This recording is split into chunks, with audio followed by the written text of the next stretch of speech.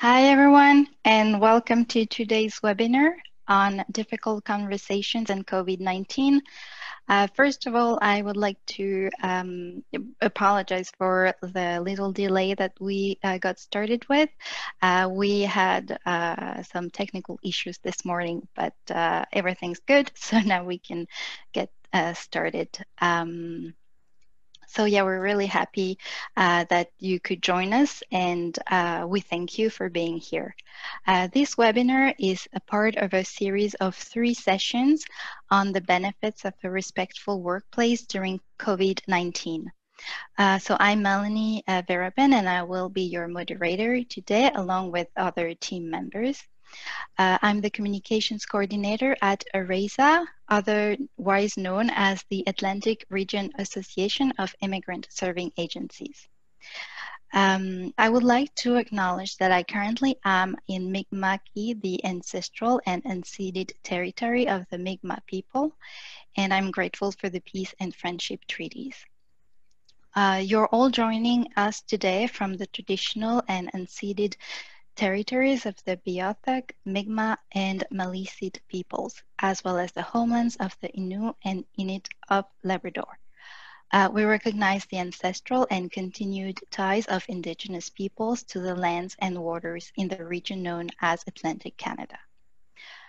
Um, one thing that ARAISA uh, does is that we develop and provide professional development sessions tailored to our members, you, uh, most current needs. And uh, like everyone else, COVID-19 has forced us to adapt and for the time being, we've transitioned all our capacity building activities online. And we're very fortunate today to have Michael Petitpas as our facilitator. Um, he's the founder of Clear Resolutions Conflict Management Services and has held various roles within government. Michael also uh, holds several professional certifications in the areas of negotiation, conflict coaching, transformative justice, and instructional techniques uh, with over 25 years of experience in conflict resolution and mediation, he's the perfect expert for this webinar series, and we feel very fortunate to have him. So you, um, you're probably all familiar with Zoom by now, but there's still uh, a few housekeeping items that we'd like to uh, go through. Um, so Michael will be presenting in English and the slide deck on the screens will be in English. Um, however, a French version will be available shortly uh, through the chat box. Uh, if you need interpretation in one language or the other, uh, click on the interpretation icon at the bottom of your screen and choose your preferred language. And if you're bilingual and you don't need interpretation in any language, just you, can, you can just, sorry, ignore this. Uh, during periods of discussions and questions, feel free to speak in your preferred language. Uh, be aware that there is one time when the interpretation feature will not be available, and that is when you'll be placed into breakout rooms uh, to work on an exercise in small groups, and that will happen later um, in the presentation. So there will be time for questions during the presentation, um, and you can use the chat box to leave your questions. Um, also, when you're not talking, if you could remember just to uh, stay on mute, it will help reduce background noise uh, during the presentation. So uh, on the screen here, you can see the icons that you probably know very well by now uh, to mute, unmute, or to turn your camera on and off. If you encounter technical issue, you can try to turn off your camera as it may improve your internet connection.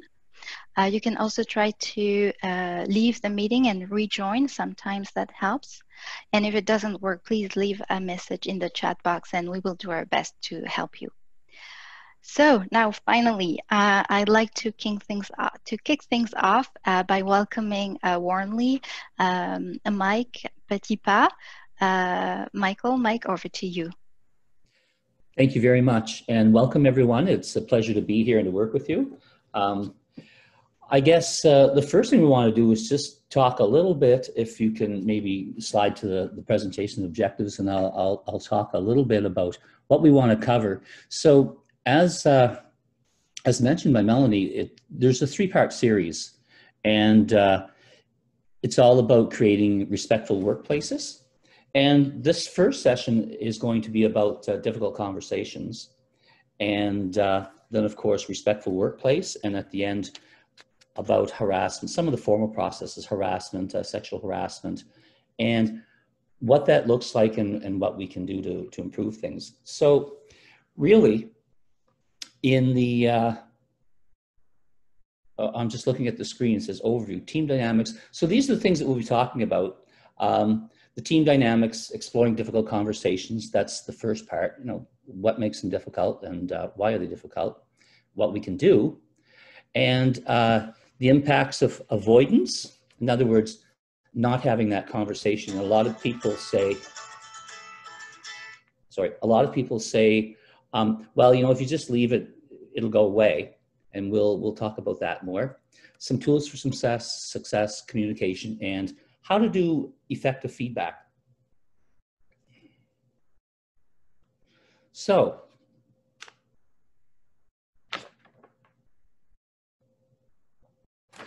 um, I'm just going to take one second. So, the team dynamics, how things have changed during COVID 19. So, I'm sure uh, I can speak for many of us that uh, the past year has been pretty tumultuous and a lot of things have changed. And many people are sitting waiting, well, when are things going to go back to the way they were? I'm not so sure that they ever will. However, some things will return to the way they were, but many things won't. They'll, they'll continue to go forward. So we'll talk. Uh, we need to talk about what's the new normal because it looks like we're all in a new normal and trying to find a ways to normalize what's happening there. So Matthew. Um, so first part. Um, one of the things that we probably need to do is to hit the reset button. And, and by that, I mean, we figure out uh, how's the situation around us affecting ourselves and other people and trying to find a new way to respond and to ask ourselves what can i do differently because what you see on the screen is the stuff that we're going to talk about over the course of the three uh, webinar series some of them we will dive into deeper a little later but basically i've broken into three main categories here awareness so the awareness has to do about ourselves because sometimes when we're in a time with a lot of change, we tend to take on a victim role as well. Why is this happening to me? And why can't things just be the way they always were? And sometimes we need to, uh, if we're going to be proactive, we have to think about okay, so what are my strengths? What are my weaknesses? Um, what what are some of the uh, biases and attitudes and things that I hold important to me that maybe aren't so important that I perhaps need to revisit rethink, and retool. So another part will be prevention. So that when we're talking about creating a respectful workplace, we need to think about how can we keep it from declining or stop the decline if it's going that way and how to improve. So things like communication is always at the heart of difficulties. And uh, in a book called Getting to Yes, which we'll talk about uh, a little bit later, it talks about how even people that have been married, for example, my parents were married for 65 some years and had 12 children, blah, blah, blah. And they would have miscommunications, misunderstandings, and, and, and from time to time arguments all the time. So it shouldn't really be that shocking for us that we would come to a workplace and there's people that we work with from all over the place, very different linguistic profiles, social, religion, uh, ethnic, ethnicities. It doesn't mean there has to be conflict, but it means that that situation becomes ripe for a lot of misunderstandings, miscommunications, bias, and so on. And sometimes we need to check ourselves and say, is there a better way to communicate? And if there is, what's that look like? And how can we avoid these uh, comments that might be disrespectful, hurtful, or just basic misunderstandings or miscommunications? So Communication is almost always at the heart of issues. Uh, I've been doing conflict resolution, mediation, facilitation for over 20 years. Plus, I grew up in a large family, and I can say from firsthand experience, and all the books that I've read validate this, that communication is always at the heart of a problem, be it a respectful workplace, a disagreement, a difficult conversation. So the best way to resolve it is with good two-way communication. And we're going to take a look at that today on where are some of the pitfalls and what can we do about them. And then, of course, the last is to contribute to better communication. And by that, I mean, people often talk about communication in organizations as what people say to each other. And that is a huge part of it. The other part of communication, though, that's really important is what I call information dissemination. That I would describe as communication from top to bottom and from bottom to top. So important information like timelines, deadlines, roles, responsibilities, projects, just knowing what's going on in the organization, what's happening and what's coming down the pipe. And then the other part, of course, is the interpersonal communication. And that's how people talk to one another, how they intermingle, what messages they give, and how they communicate. So those are uh, two subcategories of communication that I think are going to be important. So Matthew, if you would. So the other things uh, that seems to have changed is that normally teams go through uh, this dynamic and those dynamics are forming, storming, norming, performing, and adjourning. And, and there's a book by Bruce Tuckman on that. And that's the normal development pattern. And it's not linear sometimes that goes in a circular or uh, an evolving process because teams can be forming and storming. Now, are some of you familiar with, uh, oh, I guess I can't really ask that question. I'm assuming that most of you are familiar with some of these stages um, where a team first gets together, then people are a little bit cautious and they're looking around and trying to figure out, well, how's this dynamic going to work? Or if you're new to a workplace, you tend to observe. And then storming is where you start to get involved and people maybe agree or disagree and they start figuring out how are we going to work together. Norming is when they start to come to agreements and they start to work together. Performing is when things are going really well and everybody knows what the roles are. They feel that they're up to speed. Uh, the processes are working. And then, of course, performing can keep going to higher and higher levels. So uh, most workplaces want communication and the performance and their output to be going well. And adjourning, this is mostly either when a person's leaving, retiring, or if it's a project, sometimes teams are formed only for a project. And then at the end of the project, that team expires and people go back to where they were uh, seconded from. So that would be the adjourning part. And there's even a process to that when people are letting go you always see this on TV series. It's at the end of the series where people have this get together and they're all hugging and crying and you know saying goodbye to one another and they talk about what a fantastic time they had working together and so on. So my main concern at this point is how has COVID, COVID-19 impacted the teams? And I've put up there some things for you to think about before we go to the next stage.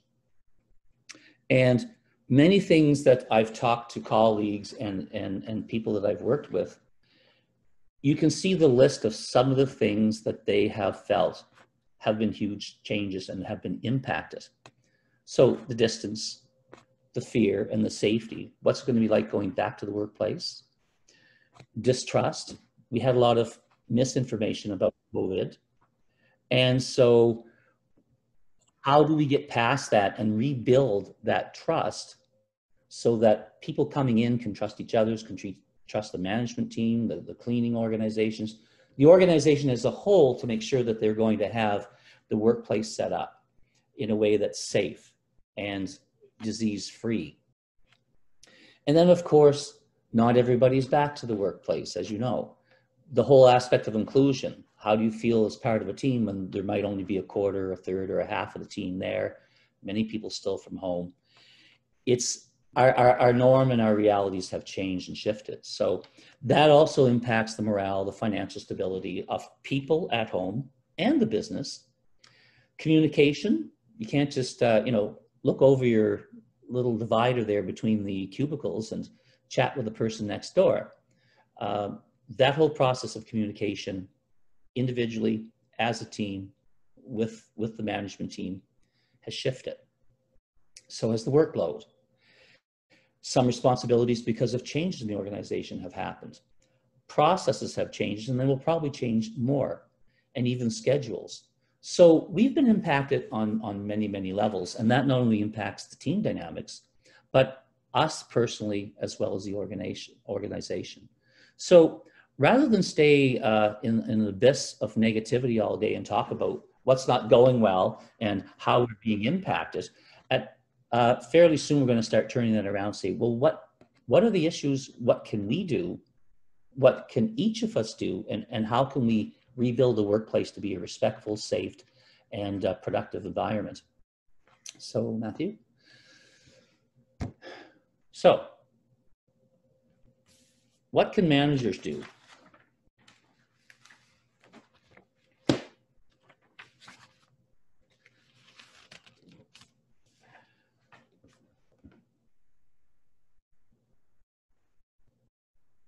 So just in general, I guess I'd like to, to mention that oftentimes people think, well, I can relate back to the uh, the time period of my dad when he was in the workplace before he retired. And the expectations then are probably different than now. But it's not unusual for people to say, well, you know, that's all the manager's responsibility. Well, what can the managers do to help? Now, these are responses that I got from another group, and I'm going to put them out for your for your thoughts. You know, they can rebuild trust. They can be available, communicate, listen, and I already talked about the interpersonal and the information dissemination so that they know what, what information are people not getting that perhaps they need. They can plan for the safety and of course, take action so that if there's an issue or concern or things aren't going well, that they can't, don't ignore it, slough it off, or hope that it fixes itself. They take action. Employees, well, I think earlier I mentioned about how communication is really important. And, and one of the things is to ask questions when they're not, when things aren't clear. When we get to the difficult conversation part, there's always a couple of linchpins, I'll call them, that make things worse. One is to be, to make assumptions and act upon them that could be way off base. That's why I suggest ask questions I'd far rather, and, and having been a teacher, people have said to me years and years ago and, and constantly, there's no such thing as a stupid question. And I think it serves us well to go along with that assumptions. Despite the fact that I must admit I have a bit of a bias. I taught junior high school for four years. And I myself, when I was in junior high school, was one of these kids that would sit there and try and think of the stupidest question I could find to try and get the teacher upset. so I'm not convinced there isn't such a thing as a stupid question.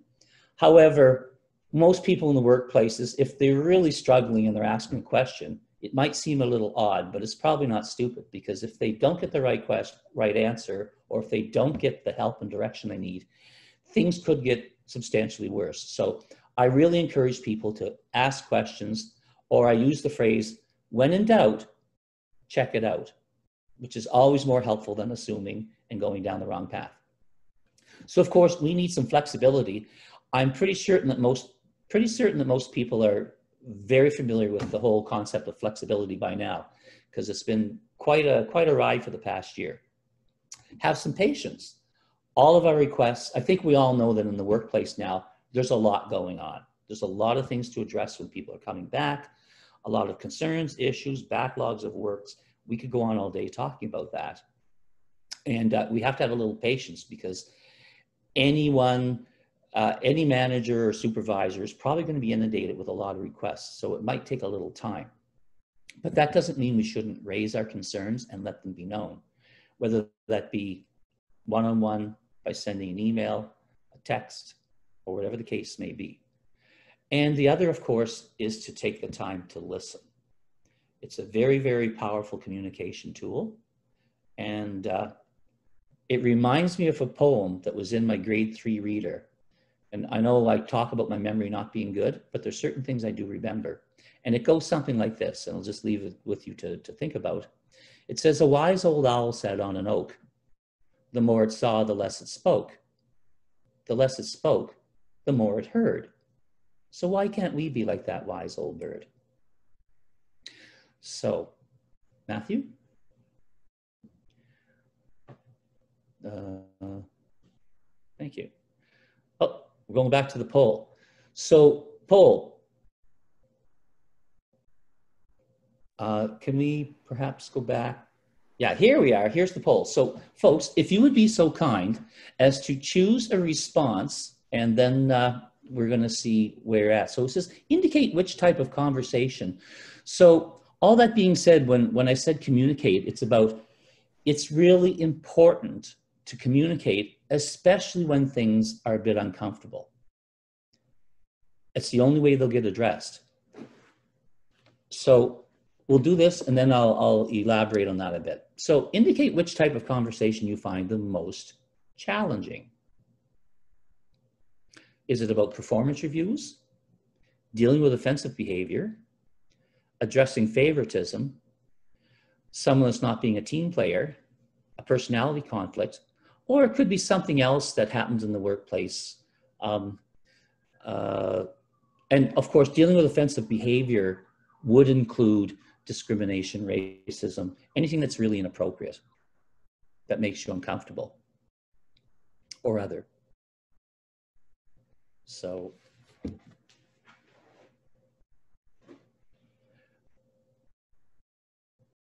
we can probably give them a few more seconds and then uh, see what the results come up with.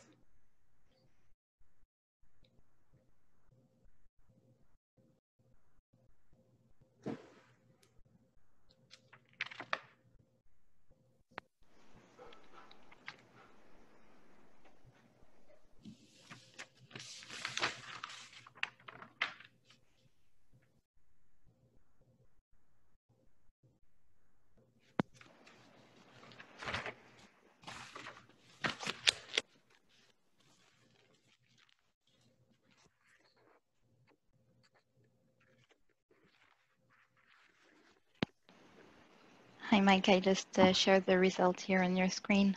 Okay. All right. Well, that's helpful. So the one that uh, seems the group finds most challenging is uh, dealing with the personality conflicts. And then uh, dealing with offensive behavior. And there was one for performance reviews. That's helpful.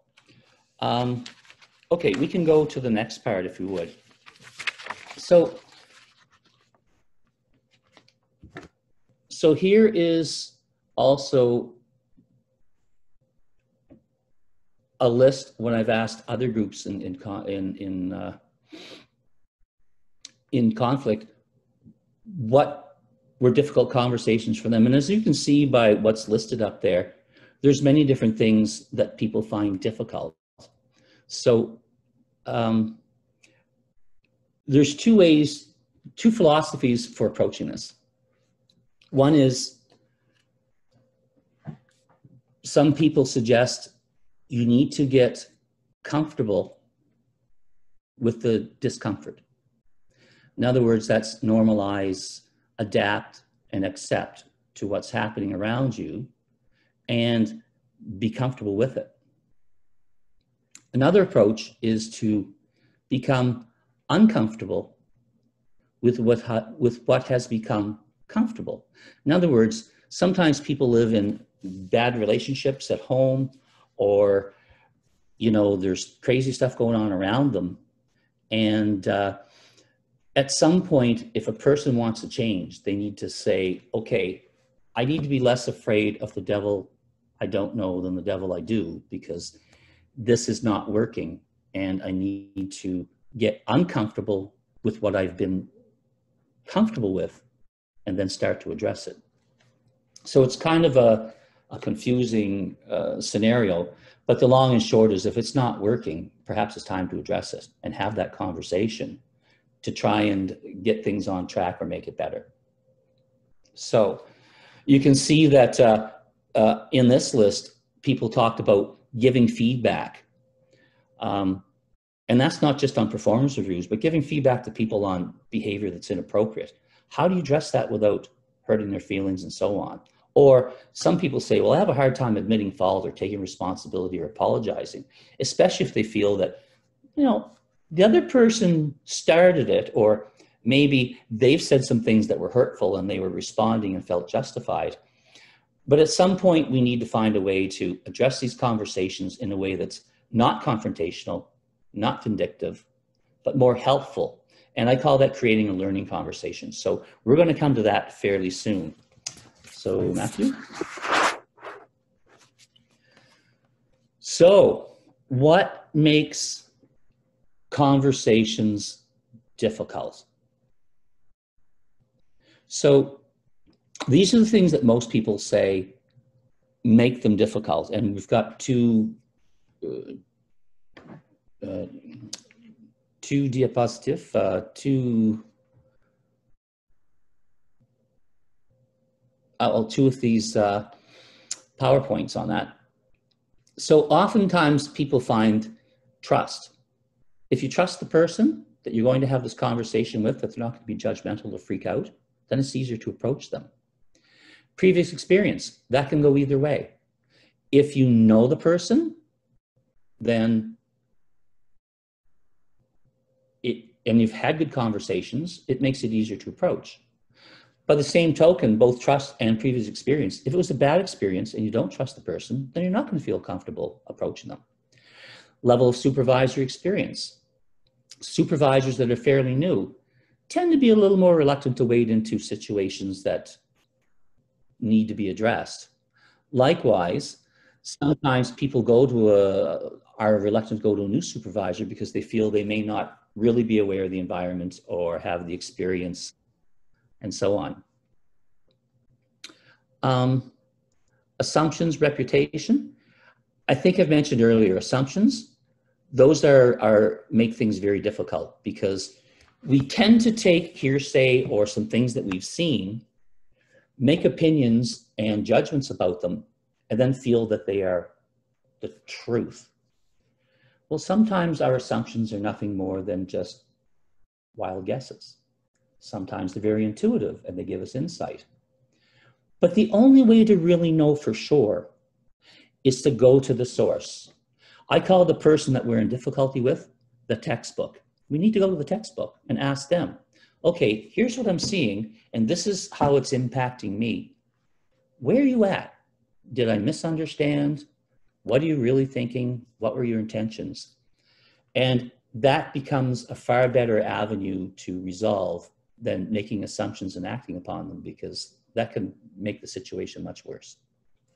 And of course, sometimes people don't like to go into difficult conversations because they're afraid it's going to make it worse or that the person, if they don't get the outcome they're looking for, they might retaliate. Now, the number one thing with difficult conversations is a lot of people just avoid having them, assuming that it will go away. And in the years that I've been doing this, I think I found uh, a lot of evidence that suggests that's not the case. Situations often fester and get worse. And then a person ends up leaving or being fired or it gets into a formal scenario where it gets much, much, much more uh, adversarial. So dealing with things early and finding a way to approach and discuss things in a, in a helpful way seems to be over the past number of years the most effective way of handling it. So part of that also is that oftentimes people are reluctant because of their own hot buttons. And sometimes somebody else's. We don't know what they've been through or what they may be comfortable or uncomfortable with. So we need to be careful of not hitting one of these hot buttons, especially if they're. And emotions oftentimes play into that hot button. So when person insults us or says something to us that's offensive or insulting, it's easy for us to react as upon to respond and think, is this really about me or is this really about them, their assumptions. Maybe they're having a bad day and I'm the target. Don't know. So these are the things that tend to make them more complicated. All right, Matthew. So now, were there any questions so far on this? I seem to have lost my touch with Solange. Our, I'll check. Yes, Mike, we have one. Yeah, oh. we have one. I'm sorry, and that is, what models of rebuilding trust have you found most helpful? Okay. Well, there's several models of having trust, and I think I'm pretty sure I've got one a little later, but I'll go to it now. The things about the things I've read about uh, rebuilding trust have a lot to do with accessibility, approachability, and honesty. And it's interesting, many of them are kind of like the chicken or the egg.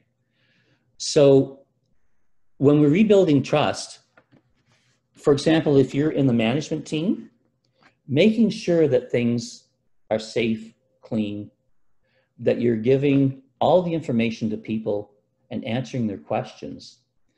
And especially if you're asked the questions you don't know the answer. I come from an era where they say, you know, just give them any information, but don't ever say you don't know because then you lose, uh, you lose their confidence and you lose their respect.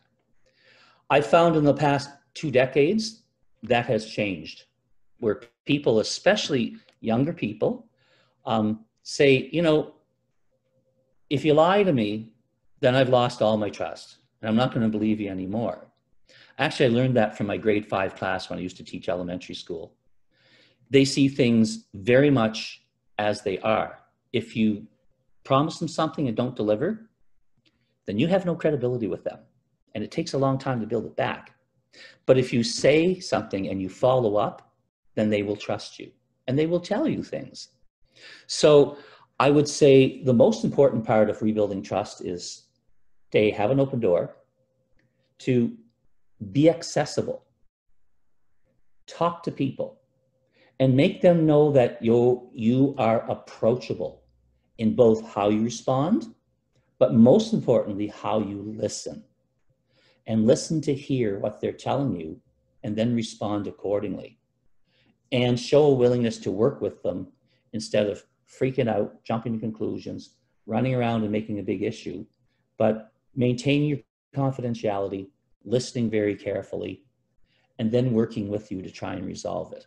So those are probably the most important aspects of any model of rebuilding trust that you'll find.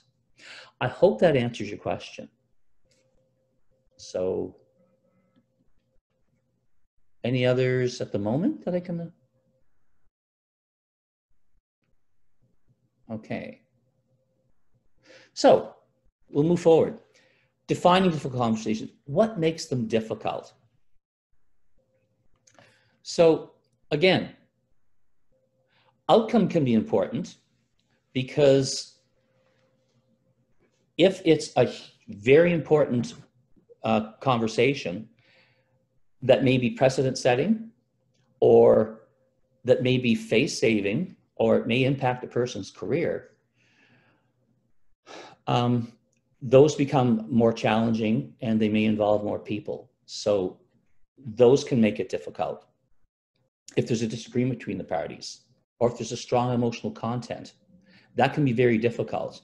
Now, today we're going to touch on some of these things, but we're not going to go into, well, how would you address each one and what would be the step by step process? Now, that's because dealing with difficult conversations, uh, typically I deliver in a three full days in person, and we do a lot of interactive activities and so on. But what I'm going to give you is the high level stuff. Um, really diving deeply on these would take quite a bit of time but at least we're going to hit the high points. So there's disagreement between the party. If there's strong emotional content, my best advice is there are many different ways of dealing with emotions, especially your own, where you can either think about things, do some reflection, or use a sounding board. And we may check on that later. So that you're getting different perspectives, you're talking it out, you're hearing yourself, you're venting some of your frustration before you go into the conversation because clearly timing also goes along with that. If you walk into the boss's office and you're really super upset about something and you start ranting, that may not be the most helpful approach. So, but it's difficult to not want to go in and say something when you're upset. So, finding ways to deal with the emotion, bring it down to a level that's helpful. And most of the stuff is common sense that all of you probably know already. So, other things that make it difficult job performance. Well, our careers, our families, our values, our ethics are very important to us. And when things hit those values, they can have an emotional impact or they can have such a level of importance that it creates anxiety and perhaps uh, tension with us. And that will often affect what we say and how we say it, which of course then has a ripple effect on the conversation and the outcome. So, um, the, the last thing, discomfort, I think I already talked about that to some degree, is that we need to recognize our discomfort is telling us something. Either we need to get more comfortable with it and figure out what it is, or perhaps it's time to make a change. Um, okay, Matthew?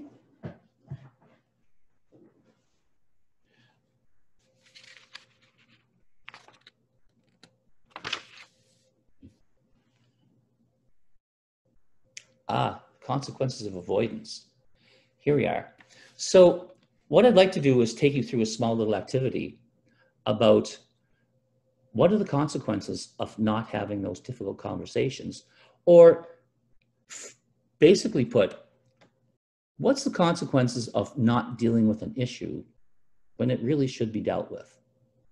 So what happens if you don't have the conversation? Who will know, who will care, and what difference will it make? because often people ask themselves that question trying to rationalize that you know no one's going to care it's not going to make a difference so i'm just going to say nothing and a person once recently sent me an email and it says you know when you don't speak up to try and keep the peace you often create a war within yourself and when we think about that it's because then we start feeling guilty. Well, things have gotten worse and maybe I could have said something or maybe they would have changed their mind. Or I'm unhappy, but I'm doing it, although I don't agree with it. And we end up with a lot of inter turmoil and sometimes conflicts of interest that create stress and anxiety for us. And then we lose sleep and so on. So, really, when people often say, instead of saying, well, I, they, they will say something like, well, I didn't say anything because I was trying to be nice. And sometimes I struggle with that a bit because if the situation needs to be addressed and it's harming people about you, then not doing anything, I would have to question or I'll ask you, is that really being nice? Or is that just avoiding? So I'll leave that for you to consider while we go to the next part because we're going to do this little exercise. So I believe uh, this, this wonderful team has you divided up into groups to do this small group exercise, and you'll have four minutes. So in this exercise, you'll be in a breakout room. And what I'd like you to do is just make a list. And somebody in the group or you and the group can take turns when it's time to present. But I'd like you to make a list so that you're prepared to share it with the other groups when we come back to the main, the main screen. So here are the questions. The impact of non-action. What is the impact of not engaging in a difficult conversation or addressing an issue? What's that, in group one, we'll discuss and make a list of at least five things of what's the impact on individuals in the workplace when those issues are not addressed. Group two, What's the impact on the supervisor or the manager if the conflict or the situation is not addressed? Group three, the impact on the team as a whole. Sometimes there's small work teams. The fourth group, impact on the organization as a whole. And then the last group, what about the others? What about families, clients, and society? How are they impacted if you're not dealing with these difficult conversations or, you know, conflict situations within your workspace.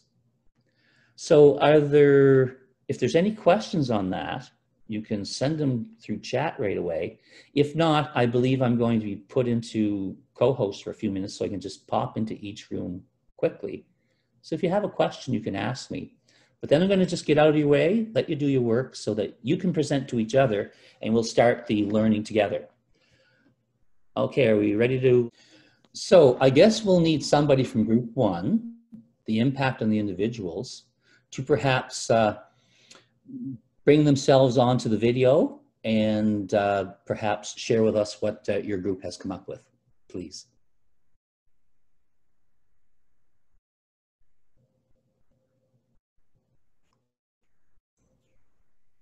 Think I may have been made de facto leader, so, I'll uh, I'll take a go at it. So our group had a really robust discussion, and I think we came to the conclusion that there are a lot of different impacts that might result. Mm-hmm. Um, so, stress, continued stress by not dealing with the situation, a missed opportunity for learning and growth um, in having that conversation, continued low morale, potentially performance issues continue if you haven't had an opportunity to openly explore those with um, with somebody else, not respecting, uh, or sorry, not building respect and understanding because sometimes having those difficult conversations allows you to do that with the other person or people.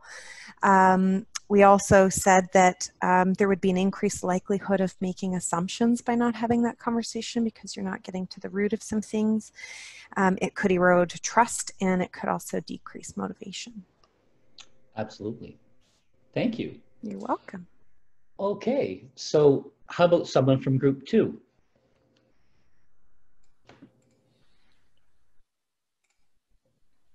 Okay. Hi, everyone. So we looked at it from two different ways. So one is um, if um, difficult conversations are not being brought to the supervisor, and then if the supervisor themselves are not engaging in those particular difficult conversations. So um, one of the impacts that we talked a little bit about if things are not being brought to the supervisor was issues such as uh, team morale.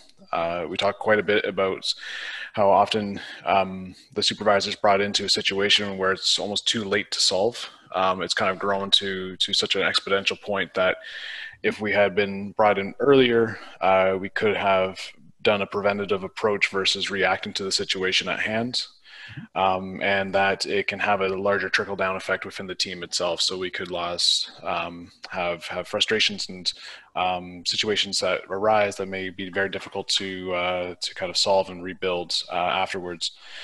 We discussed a little bit in terms of as a supervisor for avoiding difficult conversations is um, a feeling of incompetence that you're you're not actually doing the job that you are hired to do and expected to do um, and just the, the larger erosion of trust within the team itself. So the team will start trusting you less um, in regards to not, again, that perception that you're not doing your job, but also in the fact that uh, you're just not having those conversations that you're expected to be having, and the expectation that you may not have those when are when they're particularly required.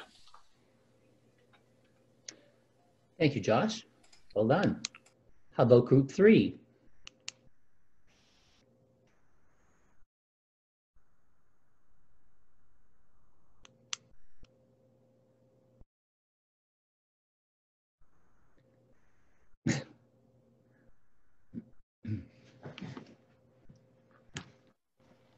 Sorry, I was trying to find the unmute. I know we've got a lot of background noise. We didn't know we'd have to uh, be uh, presenting. Sorry about that.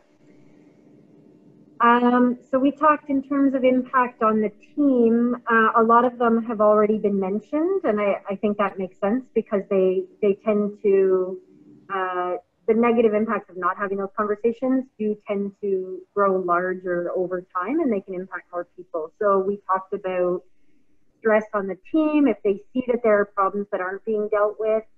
We talked about the snowball effect, so that if things are not dealt with, then addition, then it can also grow to encompass other team members who end up getting involved. Um, we talked about um, if it's not being dealt with, then team members may try dealing with it on their own, and that may not be the way that the organization or the supervisor would want it dealt with. Um, and so that may not align with, with ideally uh, what the team would be looking for in terms of outcomes. Uh, what else Okay. Very Okay. good. All right. Thank you. And we're we on to team four now? Uh, so team four looked into the organization impact on the organization and as everybody before mentioned this is just snowball effect where the organization is impacted in terms of the morale of the whole organization and staff. And once um, uh, let's up one team is not performing because of that snowball effect and uh, everybody is affected uh, the organiza- on the organizational level uh, uh, the approach and program outcomes are also affected. Um, uh, dynamic of the whole organization can be affected um, because some other teams might need to um, compensate and do uh, things that one team did not complete. Um, yeah, so basically it's just create more conflict and instead of dealing with one, you would need to deal with multiple. Okay. Um, yeah, So it's kind of like urban spread where it just keeps going yes, that and that snowball effect. Okay. exactly. Anything else to add this down? Uh organize kind of like a, a yes it feels that organization is losing control maybe over Yeah. yeah situations yeah Okay. Thank you. All right. How about group five?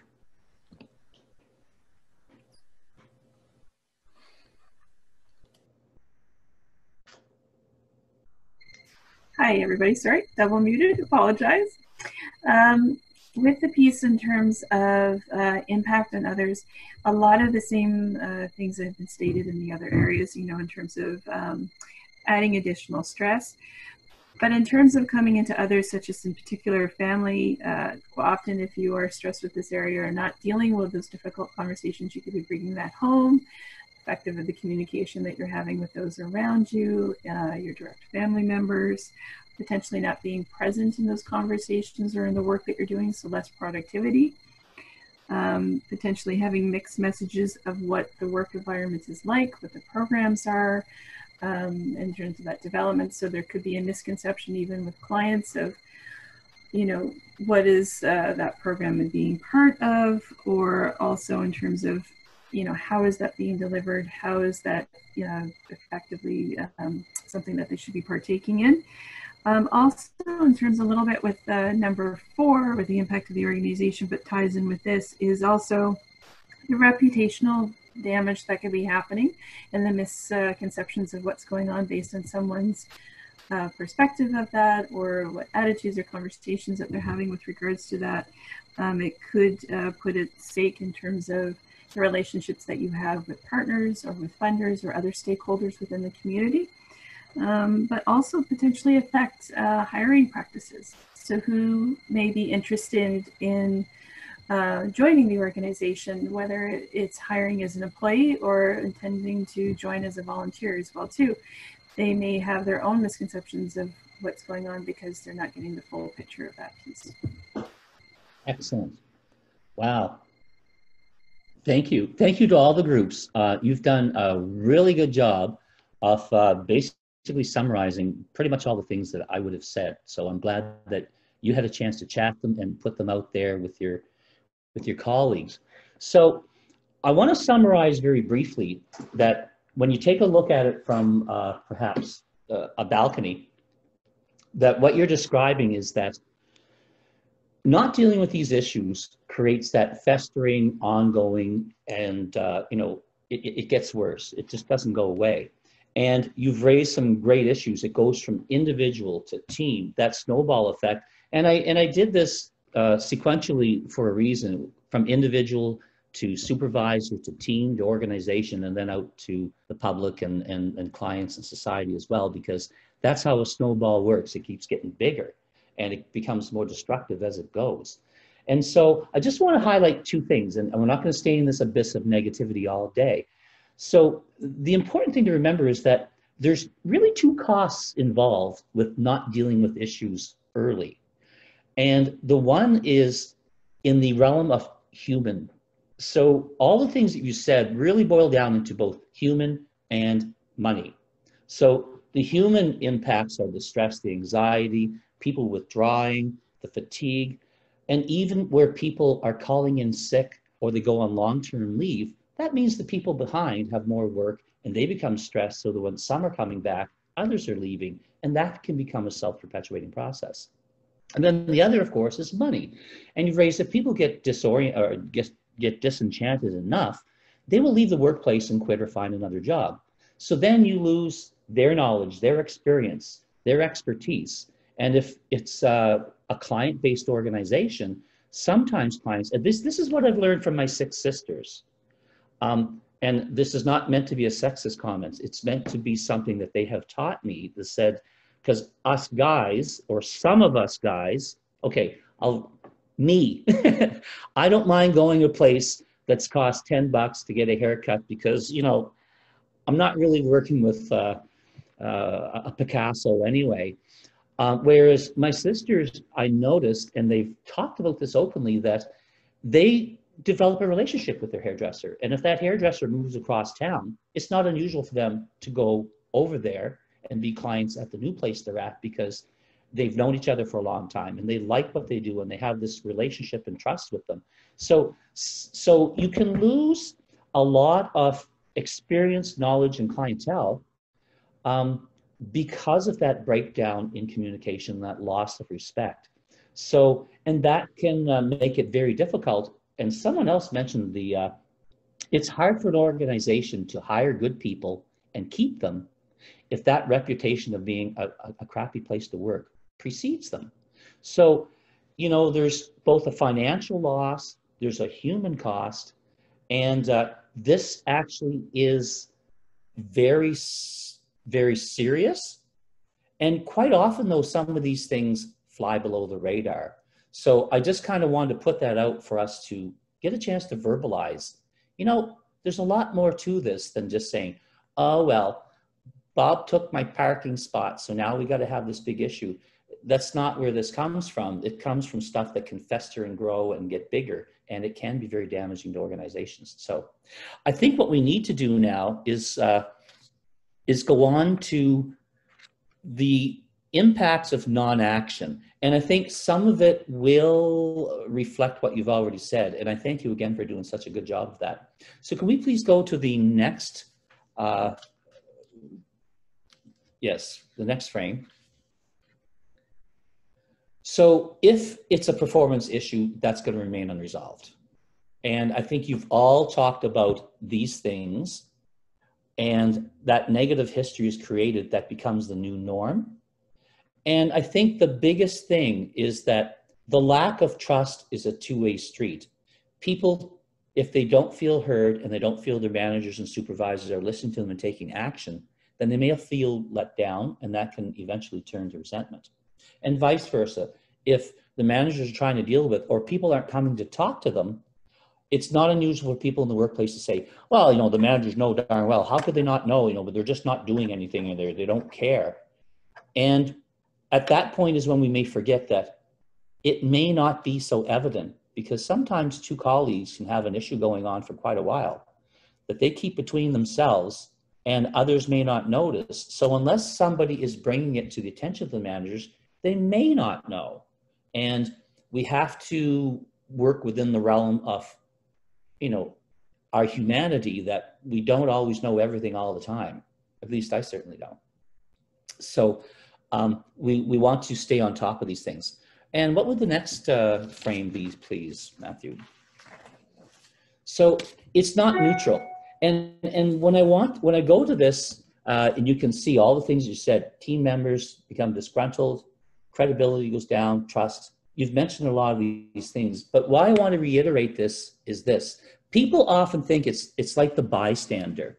And I've had quite a bit of training on, you know, the, the role of the bystander. People say, well, if I don't say anything, then it's not my issue. Someone else can deal with this. Or if I don't say anything or if I don't do anything, then I'm not making it better and I'm not making it worse. So they think, well, that's neutral. So I put a few questions to you. Well, I'm going to ask you the questions and then probably answer them because we're not back and forth. But the long and short is if you say nothing, is that really neutral? And I'll give you an example. You're walking down the street and a child falls in the river and is crying for help. If you don't respond and go dive in, is that neutral?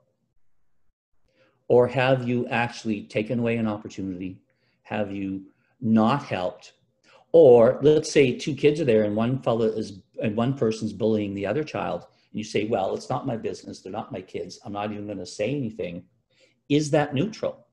Because some people say, Well, let's go to the next step on that. If you're standing there watching one child beat up a smaller child, if that's the case, are you condoning the activity? Are you allowing it to take place? Are you seeing harm that's preventable that's happening and you're not making a difference?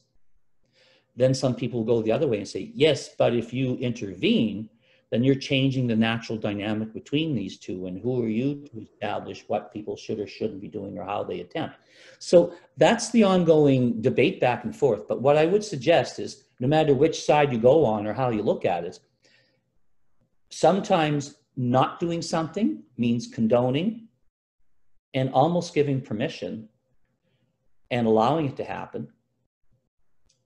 And if you do get involved, it may cause a change. However, if we take a look at our social responsibilities, there is a time and place when we can stop something that is destructive by what we say or what we do. So um, I just want to throw that out with the neutrality because I'm finding that some people look at that as a kind of a place to hide for non-activity or avoidance. And I guess I just want to put across that it still has an impact. It can be positive, it can be negative, but there is an impact. Just like when people say, well, if you don't make a decision, you can't make a bad decision or you can't make a good decision. It's neutral. I suggest it's not because deciding not to make a decision, from my perspective, is in fact, you're making a decision to not make one. And that will have an impact. Just like the little child is getting beat up. If you don't do anything, that kid's going to get hurt. So I'm just throwing that out for your deliberation and for your thought process. Okay, so let's move forward if we shall. So here's the good news about difficult conversations. And uh, I can tell you now, we're not going to get to all of the communication things and go into them in verbatim and learn them and practice them. But we will touch upon the things that you need today. And again, if there's a need or a, a, an appetite for a deeper dive, I'm sure uh, I can have discussions with Carolyn and, and the powers to be about what that might look like. But here's the good news. So within your organization, you probably already have a great network set up where many of you confide with one another, whether you're employees, managers, or, or whatever the case may be. People that you respect already, that you know are, are, are good people and, and competent, and that you can turn to for advice or sounding boards. And the other good news is that how you handle the conversation will impact the outcome. So if if a person finds themselves now having trying to have conversations and they're not effective, then perhaps it's a matter of tweaking what one is saying or not saying, what you're doing, not doing, how you're approaching it. And there's lots of uh, really good. In fact, the book Difficult Conversations by Patton Stone has a tremendous amount of very helpful things on how to start a conversation, how to respond. And we'll touch on some of those as we move forward. But we can learn this. This is a very learnable skill, which is point number three. Um, I can only speak for myself. I was so shy as a teenager, I would never tell someone I was uncomfortable with what they were saying or doing. After, well, living another 40 years, uh, there's been lots of opportunities to realize that, you know, there are things I can say and ways I can say them or questions I can ask that can change the direction of those conversations or those behaviors. Okay, there are opportunities to practice. Most of us in our everyday lives, uh, even if it's stuff that we can be using in the workplace, we can typically use it at home or in our social realms because when we practice asking open-ended questions or using I-messages and things of like that, we get better at them, we get more comfortable, and they become more natural. So we can, here's another good point. We can shift our perceptions because often the whole thing with assumptions is we assume we know something.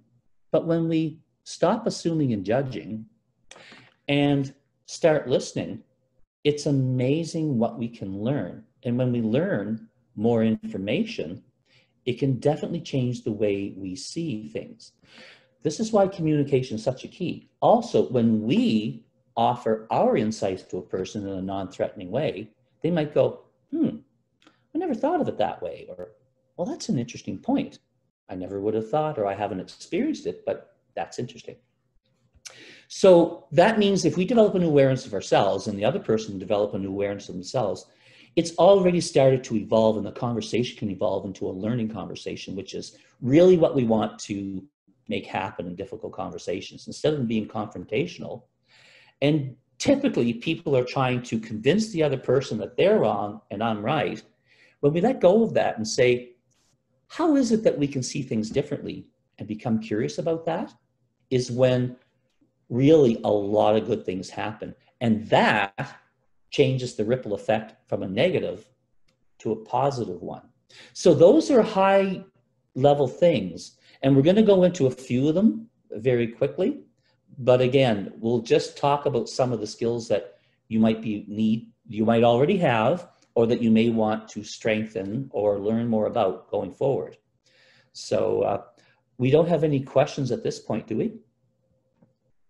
Okay, so let's take a quick look at some of the tools for success.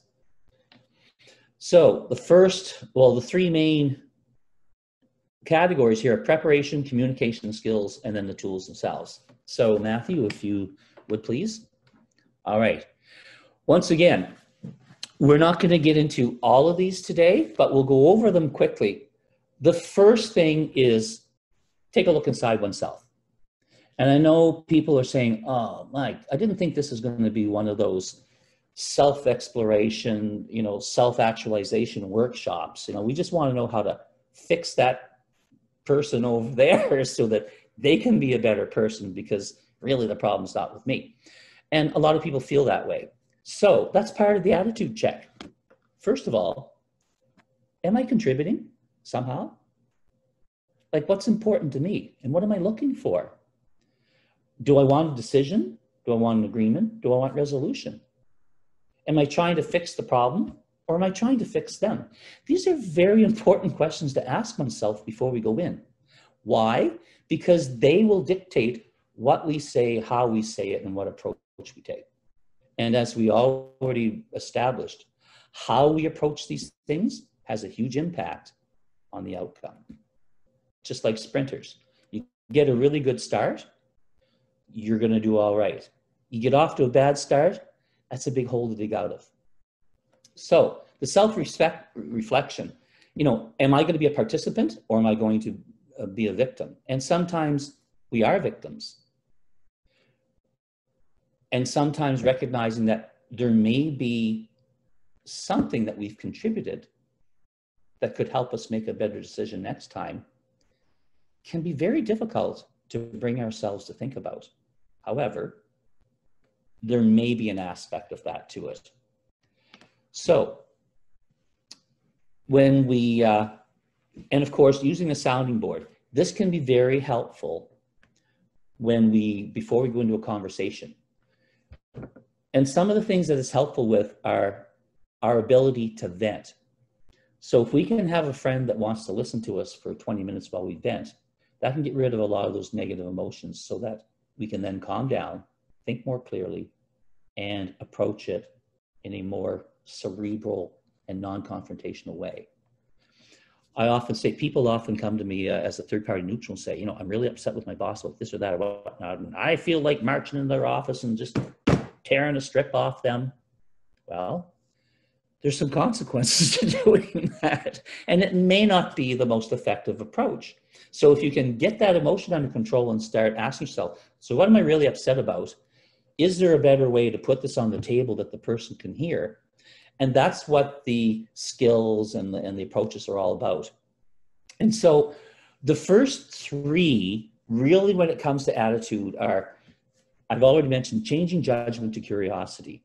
Instead of going in there telling a person how wrong they are, what they did was wrong, and how damaging it was, is be curious about so what were you thinking about, or what was your intention, or you know, how did you get to where you are so that you can learn? Because sometimes when we learn, their explanation might make some sense. And the impact on us may very well have been accidental. We don't know. But unless we have that conversation, we can't just assume. Um, and here's, here's an example. I hear this all the time. People say, well, my boss hates me. They're out to get me for whatever the reason is because, you know, they correct my work. Well, maybe they correct everybody's work. I don't know. But unless you have the conversation with them, one isn't going to know. So blame versus contribution. Um, this is another really important thing. That means that when we're reflecting, doing our self-reflection, at some point after we're finished, probably after we're finished venting with a friend, and if the friend is hopeful to say, so contribution can be two things, and this is really important. It can be something that we do and shouldn't have done, or perhaps something that we haven't said or done, but could have. So that opens the door to more self exploration. And people often, when they hear me talk about contributions, say, Oh, so you're going to blame them, or you're blaming me. If you ask me what was my contribution, you're blaming me. No, I'm saying there might not be blame at all. Typically, if there's a misunderstanding, both parties have either didn't hear or didn't explain it clearly, or there may be something you could have done, better instructions, or ask a question to clarify. So when we start to look at it as when two people are in a conversation, they both have a responsibility to say what they really think and feel in an honest, non provocative way and share as much information as they can. And if we're not doing that, we may be holding back the process inadvertently. And of course, that means that instead of blaming, fighting, arguing, you're trying to convince the other person they're wrong, we're now in a learning conversation where we share with them what we think and feel. They share with us what they think and feel. And then both sides typically will get this revelation going, oh, that's not what I thought was happening, or I didn't know they felt that way. And the whole conversation changes. So that's kind of a high level explanation of how this all works. So let's go to uh, the next part is uh, the tools for communication. So the communication process, if we break it down very quickly, is fairly simple. And we're, I know we're running out of time, so I'll get to a few of these things. And many of them we can cover in the next workshop, but I'll just go through this quickly. So verifying, verifying that the intent and the understanding are the same. Now, who's responsible to verify whether the message is clear, the speaker or the listener? And now we're gonna have another poll where you can choose which of those you think is, is the most effective. So there's your choices. The speaker, the listener, both equally, or really nobody, because you told them once that should be enough.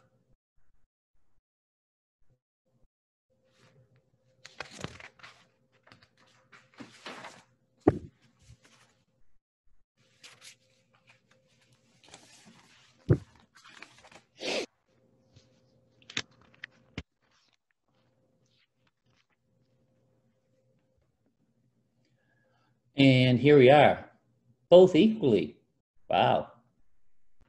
Okay, we can we can end the poll if you like. Uh, all right, so predominantly most people said both equally. And I'm going to add to that just briefly.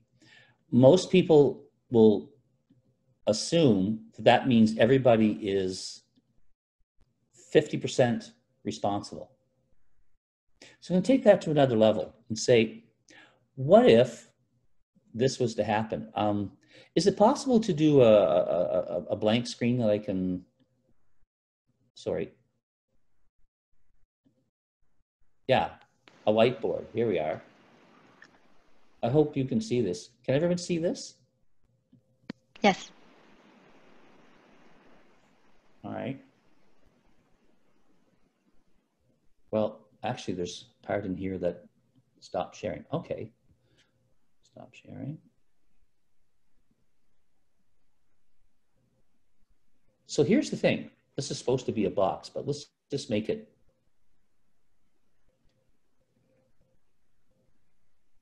Okay, this is a really bad box. Clearly, I didn't do well in, in, in art in school. So people often say, well, if I take 50% and you take 50%, then we shouldn't have any issues with communication. But unfortunately, what may happen is, you know, and this even happens with couples. You know, well, I'll do these responsibilities, and the other person says, well, I'll do these responsibilities. And if they don't check with each other, they end up taking the same half. So both of them are working on this part, and this part doesn't get done. So someone suggested once, what if each party, the speaker and the listener, takes 100% responsibility? Then this changes because nothing falls through the cracks. And then they can have a conversation about how we're going to split those up evenly, and then they're both in the know. I know that seems rudimentary. However, it's interesting how that can play out, either in the workplace or privately. So I'm going to hit the stop share so we can go back to where we were. And I believe someone else has the uh, PowerPoints, or did I mess that up when I hit that button? Awesome. Thank you, Matthew. Okay, so let's have a quick look at these tools. Um, if we could go forward to number 29, please. Okay, so here's the overview of the tools that you need. Listening, the use of silence, I-messages, use of questioning, paraphrasing, and feedback. So those are the things that we typically use, and even in the professional realm as a mediator and facilitators, these are our, these are our lifeline. And the better we get at using these, the better we can make sure that a conversation goes in a way that's going to be productive. So as I said, we really don't have time in an hour and a half to go through each one of these individually and practice them. But what I can say is that one of the most significant ones, and I put it first, is the listening. And the reason I say that is because we're not going to know when to be quiet and let someone speak. We're not going to know how to use an I-message to respond or what questions to ask or even how to paraphrase what a person said if we're not listening. It's kind of common sense, isn't it? So it doesn't mean that all we ever have to do is listen and not use the rest, but clearly it is the segue into the effectiveness of all the others. And then feedback, uh, again, that's something where I, you know, because we were a little late getting going, I, I, think we might need to leave that to the next one because I do integrate it into the uh, into the creating a, a, respectful workplace. Now, I guess what I would need to you need to know from you is that if there's any of these, if you're planning on taking the second workshop that we would like me to go into in more depth or take a little bit deeper dive, please indicate that on your evaluation form so that uh, I can plan that in there. So on the next, uh, next frame, uh, yeah, actually, if we can just skip to endings, the next one. Uh, yeah, we'll keep going right until we hit 34. Yeah, that's good. Anchoring agreements. So the interesting thing is at the end of a conversation, especially if it's between like an employee and a supervisor, it's probably a good idea. I know if you're if there's a problem that really needs to be addressed, most people in HR would suggest that there be some kind of a written memo or that you record it, the time, the date, the, the gist of the conversation. But even between, between two people that have an issue, they figure it out, and they agree together, okay, let's do some things differently moving forward. It's a good idea to probably have that written down, even if it's just in an email so that you can send it to each other and say, okay, this is what I got from our discussion. This is what we're planning to do and who's going to do what. So that you have a common understanding of how you're moving forward. It becomes like an action plan. And they say things don't really get action until they're written down. And it serves us all very well in a couple ways, because first of all, everyone's on the same page. And what that really helps with is as time goes on, even in good agreements between people, people can start to misremember. Oh, was I supposed to do that or were you supposed to do that? Or if it went, if it's going badly, did we agree that we're going to go to the manager or that we're going to talk again or what? So it's a good idea to have even just a brief little memo written down, share it. Some people don't like email because they're going to send it on. But if one is respecting confidentiality, you keep it between yourselves so that if there's any questions in the future, you can go back to this and say, ah, okay, here's what we agreed to. And then there isn't going to be another argument. You pick up where you left off, you deal with what's popping up, and, and away you go. Okay? So, uh, I think that's about it or the next one, anchoring agreements, in case I've missed something. Yes. So, and if it's a top down conversation, putting in the agreement or our action plan, it's important to have a forward focused process. This builds trust, communication, and clarity so that, yes, you mention the, you have to talk about what the issue was and term it in here's what we've agreed to, what's going to happen in the future, how we're going to address it, what's going to be better, what each of us is going to do, set clear goals that are measurable and consistent, and then decide on follow up. How often do we need to meet? Or do we need to meet once, twice, once a week for a month? Write that stuff down so that you can refer back to it and you can be consistent. And the more reminders we have for consistency, the more consistent we become as employees and managers. And the better that happens, especially in time with COVIDs where people's all over the place and things are all over the place. To have something that's consistent and stable that we can refer to can give people a real sense of security, of, uh, of, of, of being included and respect, which are the things that I believe are very important in every workplace. They say everybody needs air, acceptance, inclusion, and respect. And by having these conversations in a respectful way to deal with issues that are plaguing us, that's one of the very important places where each and every one of us can contribute to a better, more respectful, and more invigorated workplace, even during and after COVID those are some things that are universal. And I guess the next one will be the references. So the next frame, I think, please, yes. So here's some books that I've suggested and that can be helpful. Um, Difficult Conversations by Patton and Stone. Getting to Yes. If you want to know about mediation, facilitation, and really how to uh, deal with almost any type of an issue, that second one, Getting to Yes by Fisher and, and, and Ury, is one of the best I've written. Um, this will help managers and uh, the, the five stages of team development by Tuckman and the four horsemen of the relationship apocalypse. Anybody can read that. That's kind of interesting. And Who Moved My Cheese is, uh, it's kind of done almost, and, and there's a video that comes with it, or you can get a video with it that's a, a cartoon type video it's it's interesting, but it's more about adapting to change and the challenges that come with change and how we can retool our own attitudes and perspectives to be more effective in, in times of great change. And so it is kind of intended to be a little bit entertaining, but there are some good messages and it's fairly short. I think I read that book in one plane ride.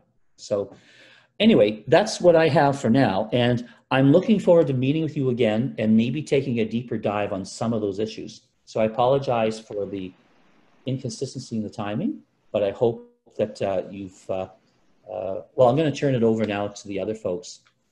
So there is a learning journal, I believe. Yeah. And that really is questions for you to ask yourselves and maybe take note of. You know, what have you learned? What are the strengths that you have already? And what are some of the things you might want to work on? And now, when you go back to the workplace, what's something that you can help do to make it more respectful?